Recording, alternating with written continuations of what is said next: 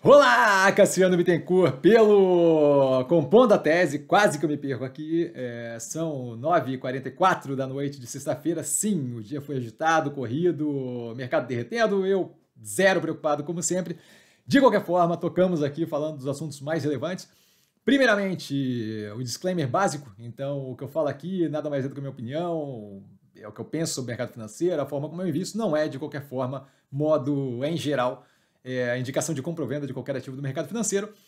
É, o ponto para começar, antes de entrar em qualquer coisa ali, hoje, no fechamento da, do mercado, tá? Na, naquele leilão final, a gente teve ali a, a entrada da ordem de venda e execução e finalização da operação em é, BIF 11. Tá? O que, que é BIF 11 para quem não sabe, para quem não está a par? Né? BIF 11 nada mais é do que a ação de compra tá? desculpa, a opção de compra da Minerva, que foi dada como bônus durante a subscrição de capital tempos atrás, aproximadamente três anos atrás, tá? e ela estava começando a chegar próxima do vencimento, então achei mais do que natural ter aí uma finalização daquele ciclo ali, justamente travando aquele preço médio meu que ficava oscilando e que eu comentava com vocês durante os vídeos de análise da Minerva no canal. Então encerrei no 5,16, que foi justamente o preço de fechamento pós-leilão, tá? É, de modo a ficar com o preço de Minerva travado em 5,20.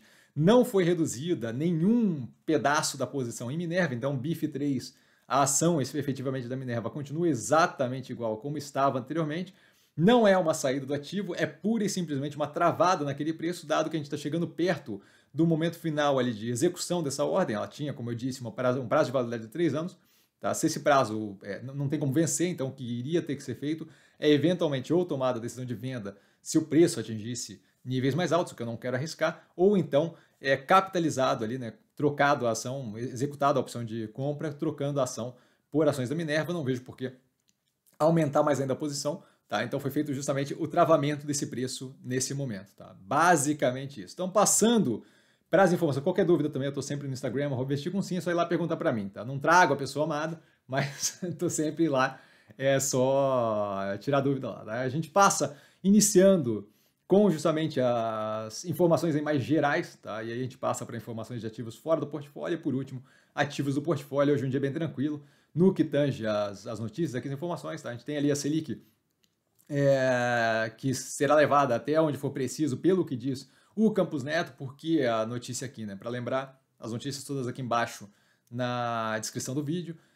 É, porque eu acho que é importante ressaltar um ponto que eu coloco sempre muito positivo ali no que tange a, a política monetária brasileira hoje em dia, que é o que? A autonomia do Banco Central, que garante justamente que o Campos Neto, presidente do Banco Central no momento, possa dizer isso abertamente e, de fato, garantir que ele tenha liberdade para lidar com os juros da forma que ele achar melhor e que o conselho, o Copom ali como um todo achar melhor. Por quê? Porque isso daí garante justamente um nível de capacidade de lidar com a questão inflacionária que nesse momento está um pouco estressada, um pouco acima é, do, do, que deveria em, em, um momento de estabilidade. Então acho que isso é uma sinalização bem positiva que a gente teve durante a semana, onde justamente o Campos Neto coloca a disponibilidade dele de usar o meio que for é, necessário, aí no caso ali o aumento da taxa Selic, para controlar o nível de preço, que garante para a gente que vai ter um combate, controla a expectativa de inflação e possivelmente ali a gente tem um, um, uma, uma, continuidade desse arrefecimento,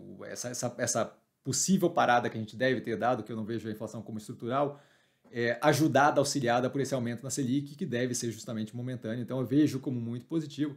Tá? Outro ponto a levantar é a exportação da carne bovina do Brasil, tá? que mesmo com aquele bloqueio temporário das exportações chinesas, teve um aumento muito positivo durante a semana é, que passou né, com relação à, à exportação. Então é um ponto a mais positivo no que tange o direcionamento ali da Minerva. Tá? Então continuamos naquele, naquela crescente de segundo semestre, que é justamente sazonalmente o semestre mais positivo para a operação de frigorífico, ali no caso da Minerva, que é o que a gente tem em portfólio.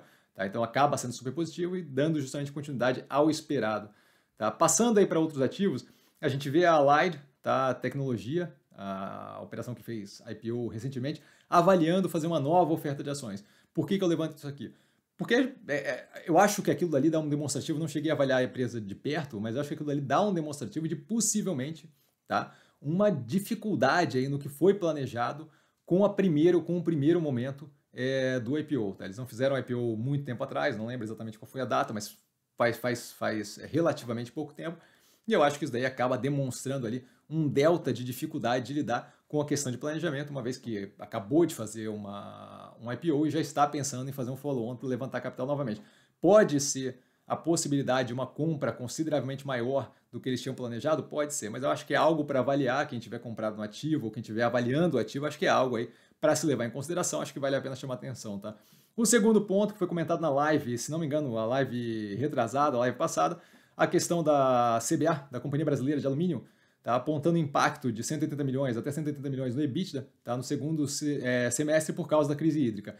Foi comentado, ah, a gente está tendo um boom aí do crescimento é, do preço de, de alumínio por causa de questões geopolíticas. Acho ótimo, entendo, Tá? Mas o fato de a gente estar tá passando por uma crise hídrica nesse momento e o fato de a produção de alumínio ser intensiva em energia elétrica muito fortemente, justamente poderia causar isso, foi o que eu pontuei na live, e a gente vê aí justamente sendo trazido à tona pela CBA, pela Companhia Brasileira de Alumínio, que pode ser justamente é um fator ali a segurar a participação deles mais forte nesse momento de alumínio é, com preços mais altos. Isso é necessariamente negativo, a empresa vai afundar? Não, não é mas eu acho que é algo para a gente observar justamente da inter-relação de pontos separados da tese de investimento. Nesse caso aqui é uma operação que eu não tenho interesse, é comentada, análise do IPO está no canal.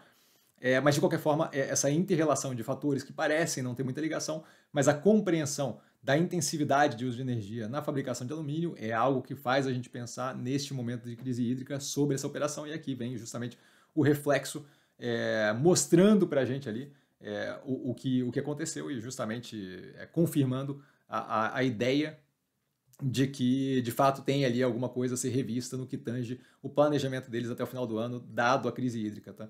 A Bradespar, que é a operação de participações ali que basicamente investe em Vale, reduzindo o capital, esse é um outro ponto aí de outra operação que não está em portfólio, tá? através de entrega de 5,3 bi de ações da Vale para os seus acionistas.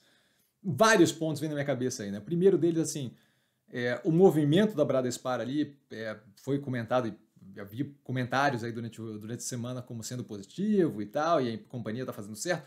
Eu, na minha cabeça, parece muito repassar um pepino para os acionistas, tá? Porque se eles tivessem que fazer a venda desses 5,3 bi de reais na Vale, possivelmente aquilo ali ia ocasionar tá? um block trade, é, um, uma, uma venda ali tá? de um bloco muito grande, o que poderia ajudar a afetar negativamente, mais negativamente do que já está sendo afetado as ações da Vale por causa da queda do minério de ferro, tá? E isso daí é algo que eles provavelmente não iam gostar de assumir, então o que eles fazem? Eles repassam aquelas ações diretamente aos acionistas, de modo que eles não têm o peso dessa venda no, no balanço deles, tá? que seria um peso considerável. É, Para eles, conta ali como distribuição de capital, e aí os acionistas que ficam com vale no final acabam tendo que lidar com aquilo ali possivelmente vendendo, transformando em capital, ou possivelmente tendo que lidar com a contínua, com a, com a contínua derrocada negativa daquele ativo no portfólio. É, eu não vejo como uma saída mais honrosa da situação, entendo a posição da diretoria da Bradespar, mas acho que é algo para a gente observar, não é um movimento dos mais comuns que acontecem no mercado financeiro. É, acho um pouco é, problemático para quem é ação da para quem é acionista da Bradespar ter que ele mesmo lidar com a saída de uma parte considerável do capital da operação da Vale, ele mesmo tendo que realizar aquele, aquela possível venda das ações da Vale, ele não sabe quando que vai chegar nele, nem qual vai estar o valor daquelas ações, e ainda assim ter que lidar com o possível sell-off de todo mundo que recebeu, simplesmente jogando a mercado, diferente da Bradespar, que vai distribuir é, a preço cotado em, em, relatório contábil. Então, é, eu não vejo como o movimento mais honroso de todos. Tá? A Altaia, que é a operação lá é, de medicamentos suspendendo o IPO, mais para notar aqui, é, porque a gente fez análise, eu fiz análise do IPO no canal, e não é um ativo que provavelmente me chamava atenção, de qualquer forma, só para deixar registrado aqui que ela suspendeu o IPO, para a galera ficar sabendo. Tá? A Camil adquirindo a marca Seleto e entrando no segmento de café, por que colocando aqui? Eu entrei no IPO da Camil 300 anos atrás, não lembro quando foi, mas faz tempo. Tá? É, ela fez parte do portfólio, especialmente naquela história de Cat Bliss, naquela faixa de preço mais baixa, onde ela ficou oscilando, comprava e ganhava 12%, comprava e ganhava 10%, comprava e vendia e ganhava 7%, 8%, e fiz isso algumas vezes. Tá? E a grande promessa da Camil quando fez o IPO, a grande expectativa era justamente dela entrar no setor de café, no mercado de café.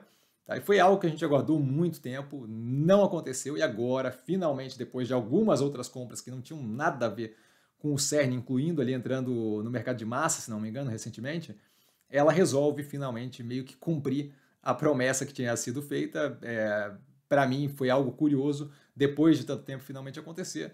E acho que a operação dela não é a coisa mais interessante nesse momento, mas não deixa de ser algo notável de a espera das pessoas que entraram é, no IPO, a expectativa era muito grande de que isso acontecesse logo na sequência do IPO, demorou, não aconteceu, o ativo ficou oscilando em preços muito baixos por muito tempo e a gente vê agora finalmente acontecendo, então achei importante notar. No que tange os ativos do portfólio, a gente tem a Neo Energia comprando fatias é, da Coelba, Coserne e a Fluente T é, da Previ, tá? do Fundo de Previdência, se não me engano, a Previ, do Banco do Brasil. Não lembro agora de cabeça qual é o fundo de previdência, mas é um fundo de previdência estatal. Tá? Eu acho que é interessante, acho que a operação da energia é bem positiva na gestão que eles fazem de toda a parte ali de distribuição de energia, tá? E transmissão e por aí vai. Tá? É uma empresa que roda muito bem, gerida pela Iberdrola espanhola, é, que tem uma operação global muito bem gerida. Aqui no Brasil eles mostram que vieram inúmeras vezes o resultado do trimestre passado super positivo, já analisado no canal há bastante tempo. Tá? E acho que quanto mais eles tiverem de participação nas operações dele, melhor, deles melhor, porque eles têm de fato um ganho operacional muito positivo pela forma que eles fazem a gestão de todos os ativos. Então vejo como positivo, não propriamente relevante, mas vejo como um movimento positivo. E por último, para a gente finalizar o dia de hoje, a Neogrid é adquirindo a plataforma de gestão de verbas comerciais Archer Tá? Eu acho que é mais uma compra, não é propriamente algo faraônico. É, gosto da forma que a, Neo, Neogrid vem fazendo. Tá? Eu acho que eu confundi Neogrid na energia, porque as duas estão juntas aqui. Mas gosto da forma que a Neogrid vem fazendo, que é o quê? Uma escolha paulatina, levando muito a sério a compra que vai ser feita, uma vez que aquilo dali tem uma necessidade de encaixar e compor com aquele portfólio, com a plataforma que eles provêm para que eles proporcionam para clientes finais, é, de modo a não perder qualidade no serviço, não ficar com operações ou utilitários ali que sejam redundantes ou que tenham overlap, né, que tenham pedaços que um possa cobrir do outro de forma a causar canibalismo entre as, os utilitários que eles têm na plataforma. Então, acho que esse movimento de paulatinamente adicionando operações é algo muito positivo, é algo que eu comento inúmeras vezes nos vídeos, justamente como todo, sem pressa, para os M&As, para as compras e aquisições, né, para as fusões e aquisições. E acho que tem que ser feito justamente dessa forma paulatina. E aí, paulatina, vocês vão me zoar de novo, mas dessa forma paulatina, é, angariando ali a melhor plataforma, os melhores utilitários possíveis, seja por compra de startup, conta, por compra de operações já rodando, para adicionar naquela plataforma, de modo a fazer com que aquilo ali eventualmente fique algo bem construído e não de qualquer forma que perca foco. Tá? Eu acho que a Neogrid continua super bem posicionada, com queda de preço recente ou não.